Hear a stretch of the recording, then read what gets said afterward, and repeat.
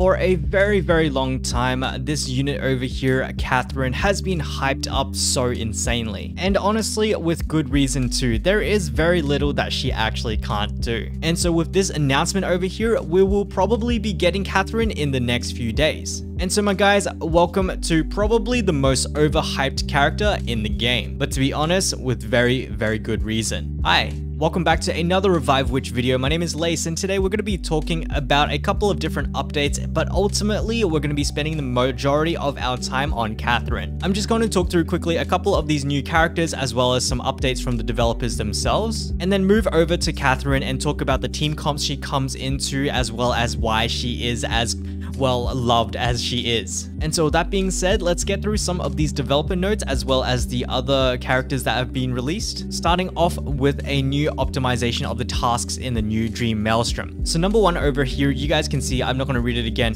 Dream Maelstrom was our battle pass that included the Ella. And so the optimization of the tasks in the new Dream Maelstrom, it's very much going to be like the removal of uh, level up your Miku by five levels. I think generally speaking, they're going to be going with like some tasks that you can that belong to like your end game loop. Like there are some tasks which are like, oh, run the Mana Dreamland or like run the skill stage. And we certainly do stuff like that in your end game loop. However, things like uh, level up your Cetes by five, leveling up like your Pakane, leveling up pretty much all of your other R or SR units by five, it's it kind of feels like you're going out of your way to having to fulfill that task. And so that is probably what this one is going to be about. They're going to remove those ones and then add some more tasks in that are more relevant to us in endgame. All right, and so as for number two, new support system for developing your dolls. Essentially, they are working on a system that is going to help us make the doll development experience a lot better. However, it is going to take a while before it actually comes live. So I think for this one, it's more of a stay tuned, don't expect too much right now. And so moving on to the last one, new events for Spring Festival and Valentine's Day. It just sounds like we have new events coming up, probably new login events, and then of course very much our new stages, which is going to be pretty freaking sick. But otherwise, that's the extent of these developer notes, and so let me move on to the next topic of the day, which is going to be Xur over here. Now, Xur is a pretty sick unit, especially when she was released, she was used for a whole bunch of different things. She is very much a red healer, brimstone healer, if I am not wrong. Over here, you can see Xur. And so whilst Xur herself is not bad, the unfortunate unfortunate reality is that like Tornel exists. In a nutshell, Tornel, especially with her charge system as well as the chaos energy generation, she is going to fit into virtually every single team and that is what we're actually going to see with the Catherine that is going to come out very very soon. Combined with the fact that Catherine has just been announced, rolling for Xur is not exactly the greatest idea. However, again, like the content in this game isn't like overly excessively hard and so if you do like Xur, if you do like her looks, her vibe, then freaking go for it, my dudes. But otherwise, yeah, the nice thing about this is that this is the Awakening Summon. And so if you did dump in some pulls for Xur, but didn't get her or something, it is going to actually contribute to your Catherine pulls, which is coming up next. All right, and so after that, we have this one over here, Datheos, who is like, I think our second male unit in the game after such a freaking long period of time since launch, right? So he is going to be an SSR, as you can see down here, mage in the Mercury element. And so unfortunately, that's already a tough field to be in, right? Like you're already competing against like your new Flora, you're competing against your AoE mages in Ashpia as well as Maya, and then you're potentially competing against Cersavi as well as some of the other compellers. And on top of all of that, you are competing against the goddess Mnir, the single target goddess. And so whilst he is pretty cool, and you're probably going to get him, especially because he is probably going to be on the Catherine banner, it is quite hard to recommend actually investing into this character, especially with that bloated pool. Alright, and so with that being said, let's move on to Dana over here, who is probably like, this is quite possibly one of my favorite designs in the game. She kind of looks like a demi-dragon, like she's got those horns coming out, and it's very much like a summoner feel. This is, this is quite possibly one of my favorite arts in the game right now. However, again, Dana is going to be another mage in the Mercury element, and for the same reasons as before, it's very, very hard to recommend her. And just talking through this one really quick, of course, like there are different scenarios for different people. For example, like your Pakane is very, very good for the CC, for the freeze. We've got Ashpia with the one second stun. We've got Maya with the heal as well as a defense down. Like to really impress in the realm of the mage in Mercury element, like you're gonna have to beat something like that. And so yeah, with that being said, let's move on to our star of today, Catherine. So for you guys who don't know, Catherine is a guardian in the brimstone element, that is the red one. And before we go anywhere, let me do a quick evaluation and description of her skills because like even just showing you guys what she does, you guys are already going to quickly figure out why she is so busted. So starting off with her S1, aka her order skill, she is going to have self-immune to 5 physical attacks. And on top of that, depending on her skill level, she is going to get physical defense and magic defense increased and scaling on her maximum HP, which is pretty insane considering she is already a tank. And then on top of that, for 10 seconds, she is going to have the damage redirection, so her taunt, and then also restore HP based on her physical defense per second. Now the real insane kicker about this skill is the fact that it is on a charge system, a 4 charge system. And so for you guys who have like the Amanami, the Tornel, and some of the other charge units, I think Caledonia is another one, you guys will have instantly picked up on this and realized why she is so freaking insane. The fact that this skill has value without you having to actually consume any order or chaos points for it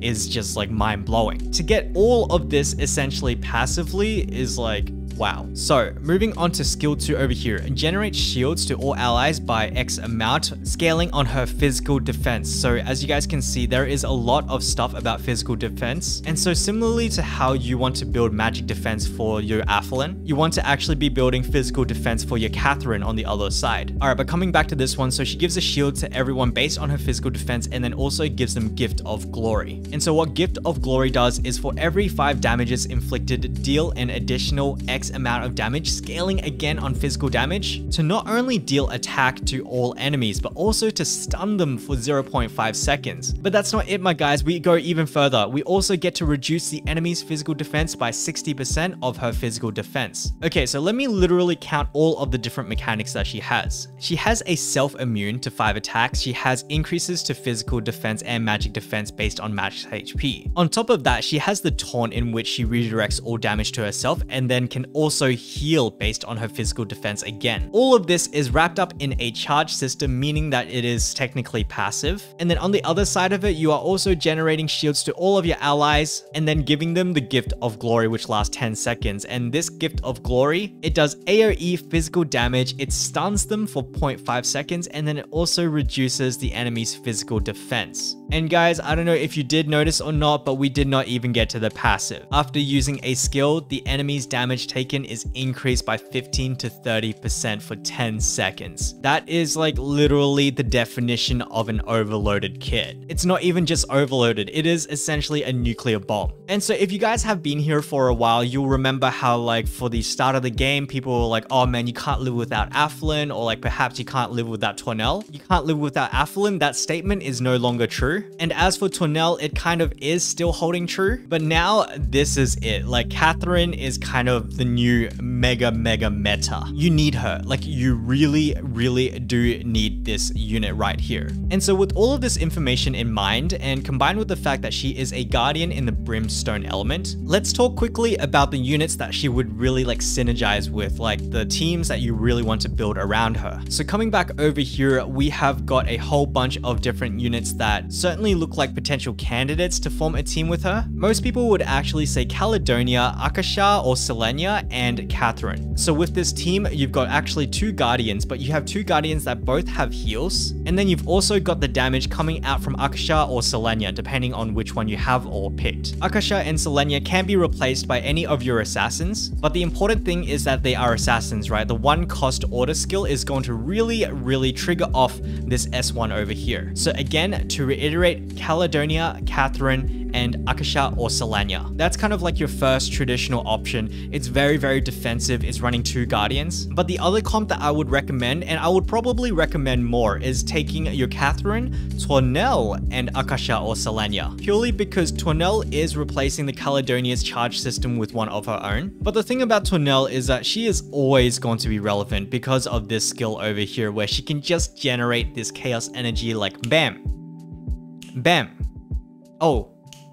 Oh, there, there's another one. It's honestly insane. Like the chaos energy from that, as well as this night wish, which is on a charge system. She is just giving them the fat juice, right? Like let's have a look at level five. She's giving 40% of an increase to Doll's attacks as well as healing them. And then on top of that, she is going to be boosting the damage dealt by 15%. This kit is like more than enough to actually just straight up replace anybody with Tornel. It definitely takes priority over like that 10 or 15% to all stats or whatever. Like this is just so insanely cracked. And so to summarize, in my opinion, the best in slot team would probably be Catherine, Tornel, and Selenia or Akasha. I personally like Selenia more, especially because I have a Christmas skin.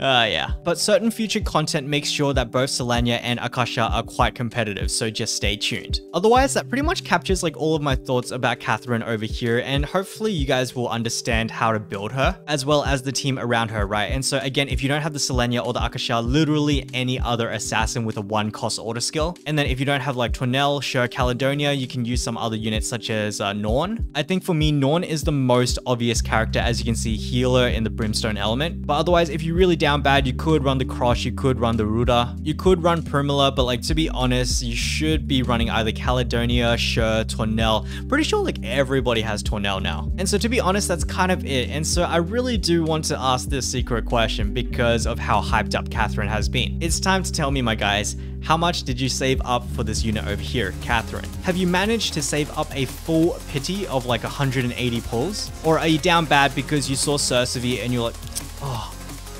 need that. That was me, by the way. That was uh, that was certainly me. And so, my guys, let me know how many gemmies you have, how many pulls you have saved up for Catherine down below. And if you guys end up doing so, then I would really appreciate that because it means you've watched up until the end of the video. So thank you guys so much. But otherwise, if you did find this video helpful, then please consider a like. And if you did want to see more, then please consider a subscribe. But otherwise, as Catherine the Miracle, wow, that is actually such an appropriate nickname. Catherine the Miracle once said, all good things must come to an end. And so thank you guys so much for watching and I will catch you guys in the next video.